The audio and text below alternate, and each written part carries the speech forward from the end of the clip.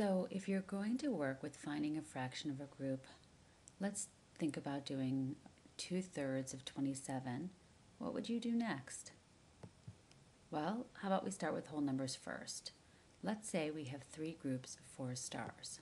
One star, two, three, four. That's one group. Now we're going to make our second group of four stars. And our third group of four stars.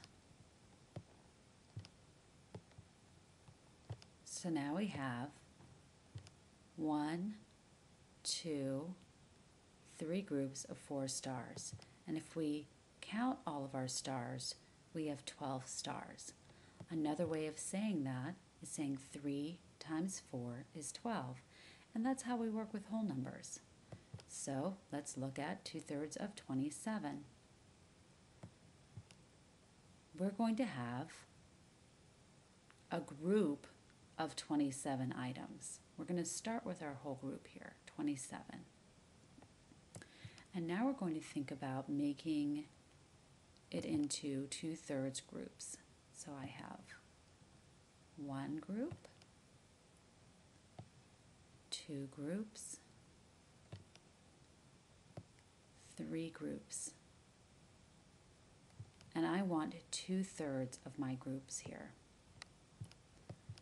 So if we look at two-thirds of 27 and we think about our whole number representation, we have two-thirds times 27.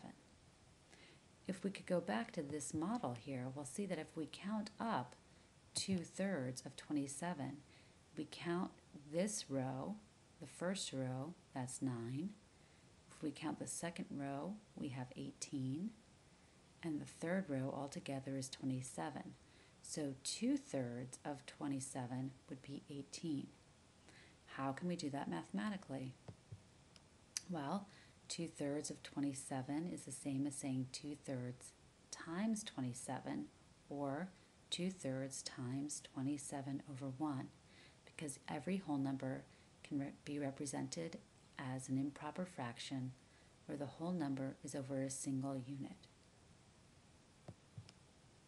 If we think about using 2 thirds of 21, 2 thirds of 27, and we multiply our numerators, 2 times 27 yields 54, 3 times 1 gives you a product of 3.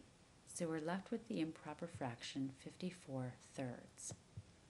How do we work with 54 thirds? Let's get rid of that other stuff and think about what 54 thirds equals. It means the whole number 3 here into 54. We're dividing 54 by 3.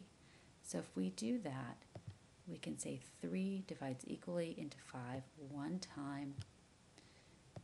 We're doing our long division. We're going to subtract here.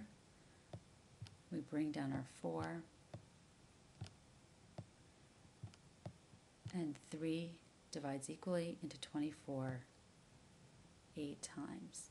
And that squares with our number model that we had come up with earlier, where we have 54 divided by 3 is 18. Therefore, 2 thirds of 27 is 18, or 2 thirds times 27 is 18.